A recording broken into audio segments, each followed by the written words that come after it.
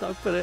Velkommen på tur. Nå var det du begynte å stille deg spørsmål om hvilket kjønn du egentlig tilhørte. Ca. fire år, som jeg kan huske. da. Og da var det jo sykt, for det sto i psykiatribøkene.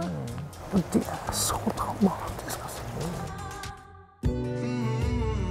Steinar J. Olsen er gründer og leder av Stormberg. Han er samfunnsengasjert og opptatt av de utfordringene som mange mennesker møter i hverdagen. Utenforskap, inkludering og mangfold er viktige temaer. Nå går Steinar mer enn 200 km. En tanketur. Med gjester som på ulike måter møter disse utfordringene.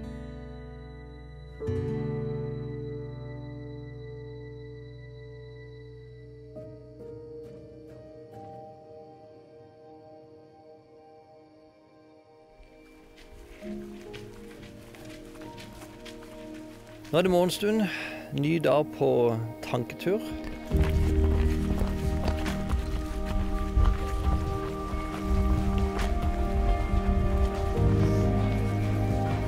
Norge er et mangfoldig land, men annerledeshet er fortsatt kontroversielt i enkelte miljøer. Og noen mennesker faller utenfor. Få vet bedre hvordan det er å være annerledes enn vår neste turgjest. Espen Ester Pirelli Benestad. Beklager at jeg ikke kunne tilby deg bedre vær enn dette. Takk for det. Velkommen på tur. Velkommen på tur, velkommen på tur. Espen Ester er professor, lege og spesialist i klinisk sexologi. Og er en av Norges mest profilerte åpne transpersoner. Hen er også en banebryter for at mennesker skal få leve med den kjønnsidentiteten de har. Det har jo skjedd en del positivt i forhold til oppfatning av seksuell orientering og annerledeshet de, de siste ti årene, men det, det, er fortsatt langt igjen. Og, og Hva er viktig for at den utviklinga skal, skal, gå videre og gjerne gå mye fortere? Toleranse. Jeg, jeg spør jo ofte grupper om det er et vakkert eller et ikke vakkert ord. Og da er det jo vakkert ord. Liksom. Så sier ja, jeg er ikke så sikker på det. For egentlig så burde det ordet staves med å. Ja. Toleranse. Hvor mye kan vi tåle? Ja, hvor mye kan vi tåle? Hvor mye kan vi tåle av disse skeive, disse rare, disse som ikke oppfører oss i samsvar med vårt eget verdensbilde, liksom? Mm. Så målet er ikke et tolerant samfunn, men målet er et samfunn hvor mangfoldet er selvfølgelig. Mm. For det vanlige mennesket trenger jo ikke tolerans. Mm. Nei, Det ville jo vært underlig hvis vi møtte en eh, asiater i dag, og så sa vi til han du, vi, eh, vi tolererer det. Ja, ikke sant? Det er jo, det er jo nedlatende. Nå var det du begynte å stille deg spørsmål om, om hvilket kjønn du egentlig eh, tilhørte. Jeg vet, Min transhistorie går tilbake til ca. fire år, som jeg kan huske. da. Men da var det jo, måtte det hemmeligholdes. Mm. Nå ble det liggende der i hemmelighetenes mørke. Eh, og ble vel ikke skikkelig reflektert før jeg var eh, nærmere 20 år gammel, tror jeg. Mm. Mm. Og da var det jo sykt, for det sto i psykiatribøkene. Mm, mm. I det hele tatt så sto det fryktelig mye håpløst i det jeg leste. Mm. Nok til å ta livet av veikere folk enn meg. og så tenkte jeg de tar feil. Du hadde styrken til å, å, å si det til deg sjøl? Ja. De tar feil.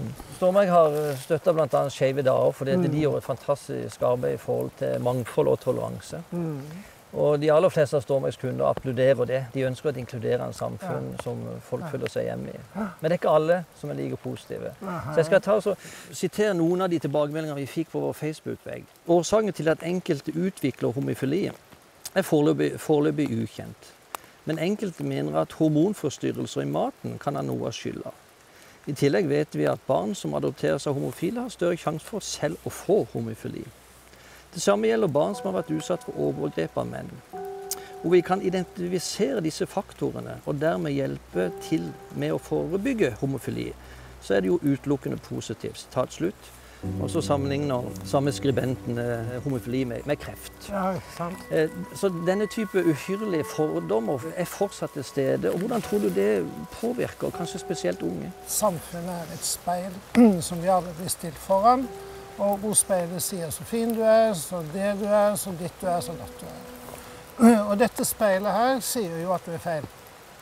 Og det har jo vært veldig mye av tenkingen som også angikk homoseksualitet og lesbisitet. Det var at man prøvde å finne ut hva var det som gikk galt. Og Derfor bruker man noe som forstyrrelse, eller hjernen fungerer ikke. Sant? Så igjen så er dette helt grunnleggende at hvis, hvis vi aksepterer kompleksiteten i bunnen, så er det ingenting som har gått galt. Men det har gått galt når kulturen tror det har gått galt. Fordi at du får vite at det du er, det du føler deg som, det som virkelig er viktig for din lykke i livet, det er sykt eller feil. Og det er så dramatisk. altså. Jeg tror jo det var litt sensasjon de første årene jeg rusla ned i, i, i eh, kvinneuttrykk i Storgata i Grimstad. Du må presentere deg for verden hvis du vil at verden skal ta deg imot. Og da, og da brøyder du også vei for, for, for mange unge, for det er mange unge som sliter med å, å komme ut med sin egen legning. Oh, ja. Og, det, er jo, det er jo både godt og, og, og tragisk på en måte at veldig mange unge, fremdeles mange unge skeive, kommer og sier tusen takk. Um, så tenker jeg ja, det er fint. Det er Sammen med Espen Ester fortsetter Steinar turen for å møte sin neste gjest, Veronica Orderud. De skal snakke om en ny sjanse og livet etter soning. Du, du var jo en av aktørene i en av norgeshistoriens mest omtalte drapssaker. Hvordan klarte du å overleve når det etter du hadde hele nasjonens øye retta mot det? Jeg tror ikke jeg egentlig tenkte på det eller klarte å ta det inn over meg.